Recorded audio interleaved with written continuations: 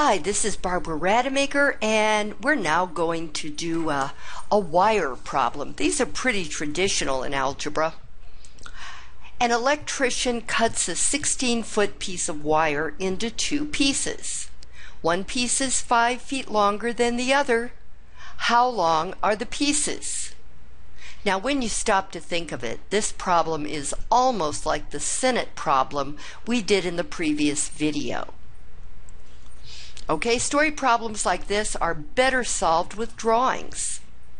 We're being told that a real physical thing is being cut into two pieces.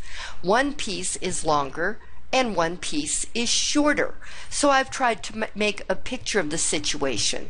The, uh, the black line represents the 16 foot wire and the colored lines represent the shorter and the longer piece that this 16 foot wire is cut into.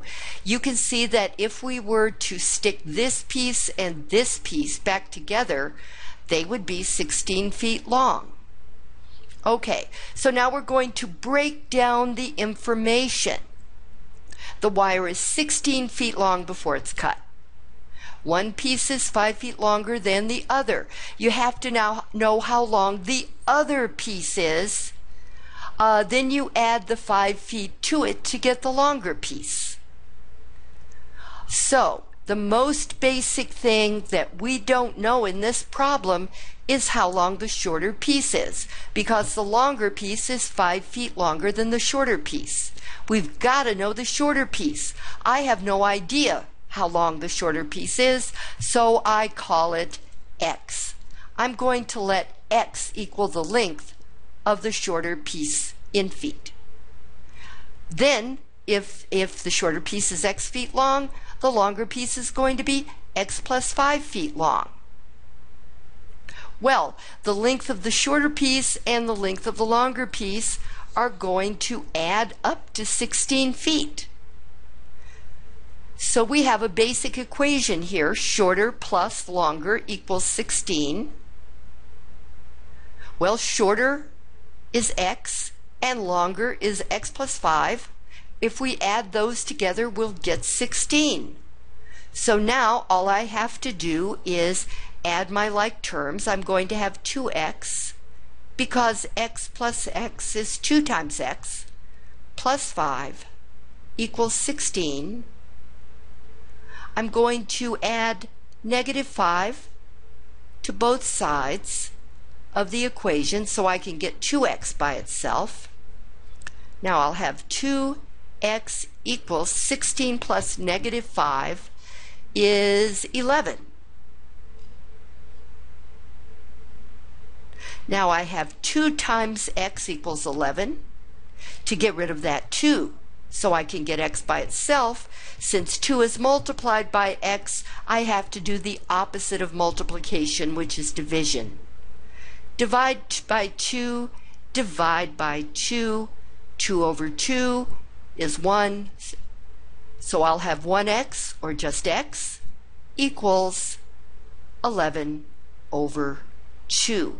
Now, come back up here for a minute and be sure to read the blue type under uh, where you're supposed to answer the question. That's, that's going to be there in almost all of My Math Lab problems. Be sure to read this because it will tell you how to answer.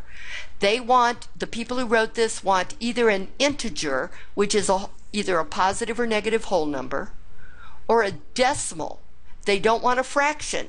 So I would be counted wrong if I were to answer 11 over 2 feet? Well, that means I need to find out what 11 over 2 is. So I go over to the calculator and I hit enter again, uh, on again rather. I say 11 divided by 2, enter, and the answer is going to be 5.5. So I'll put 5.5 in the answer box.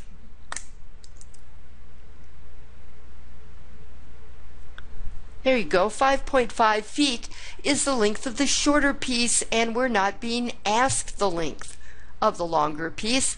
But what if we were asked the length of the longer piece? What if somebody wanted to know?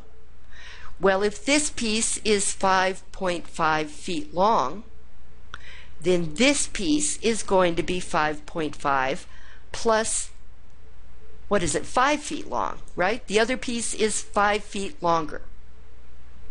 5 plus 5.5 is 10.5. So this piece is going to be 10.5. Now, 10.5. Oh, oh, darn. All right, 10.5 plus 5.5. 5 plus 5 is 10. Carry the 1. 1 plus 5 is 6. Bring down the 1. Yes, this works. We've got the correct answer. All right, let's do a perimeter triangle problem. Oh, no, it's not. It's going to be an angle problem.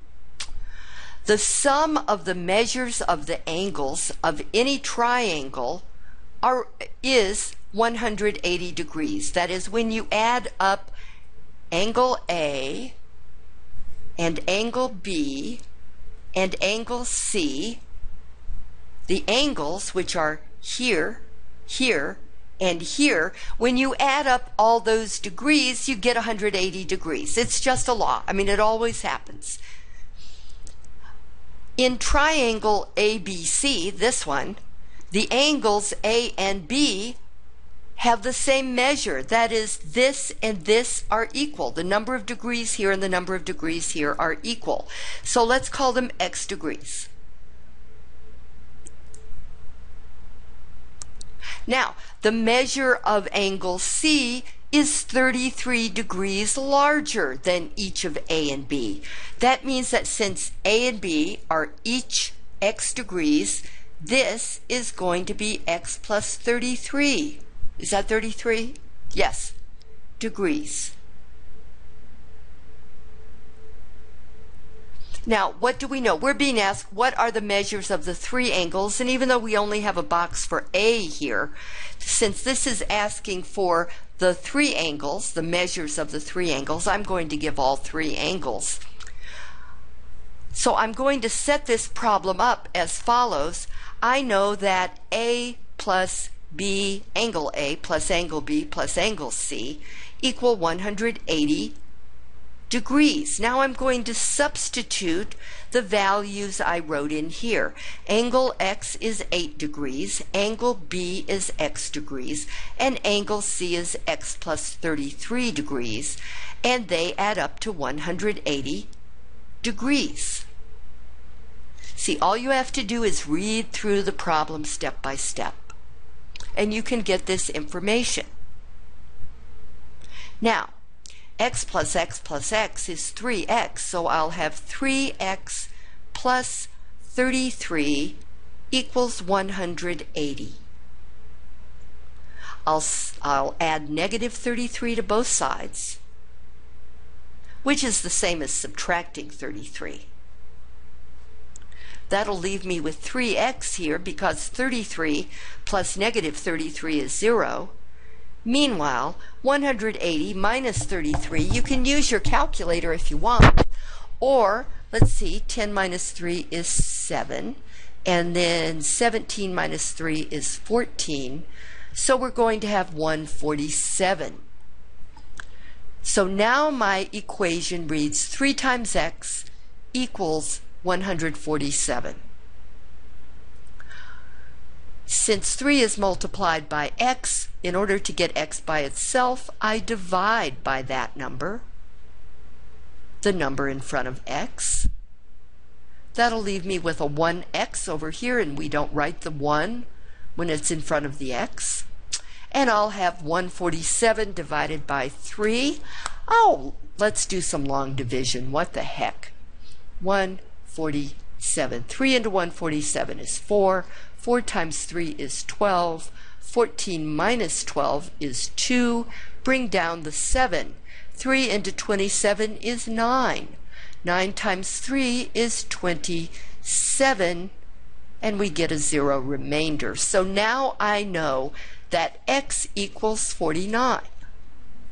Which means that angle A is 49 degrees, angle B is 49 degrees. Angle C is going to be 49 plus 33 degrees, which is going to be 9 plus 3 is 12, carry the 1, 82 degrees. Now let's, oh, 82 degrees. Now let's check and make sure that I didn't make an arithmetic mistake. 49 plus 49 plus 82. Let's see. 9 plus 9 is 18, plus 2 is 20. Write down the 0, carry the 2. 2 times 4 is 6, plus 4 is 10, plus 8 is 18. Yes, that works.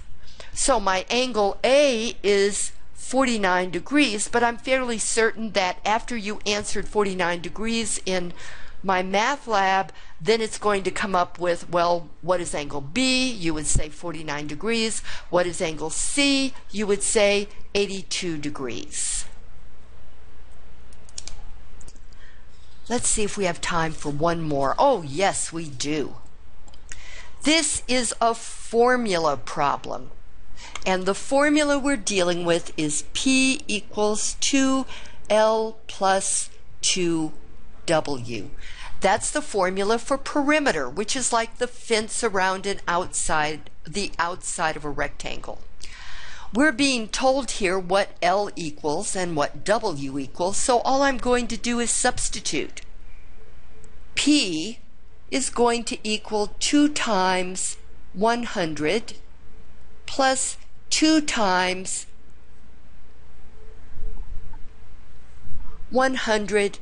144. Really, the width should not be longer than the length, but don't tell anybody, okay? Now, let's let's take an easy route here and go in the calculator. I want to show you how you can just write what you have here in here, complete with parentheses. So let's say 2 left parenthesis 100 parenthesis closed plus 2 parenthesis 144 parenthesis closed. Enter. And your answer is 488 now what does that mean? That mean oh and is this feet or does it not say it just doesn't say okay what this is saying is if you have a rectangle And as weird as that is, I mean, the width is always the shorter side. But a little boo boo there, okay? I'm just going to write down what it says. All right, if your length is 100 and your width is 144, and your length is 100 and your width is 144, and you want to buy a piece of fence for maybe this is a garden and it's 100 feet by 144 feet. You want to uh, fence it in. So you go to Lowe's or some other store and you buy fence, but you have to add up these four sides before you can tell Lowe's how many feet of fencing you want. That's what perimeter is. It's a fence.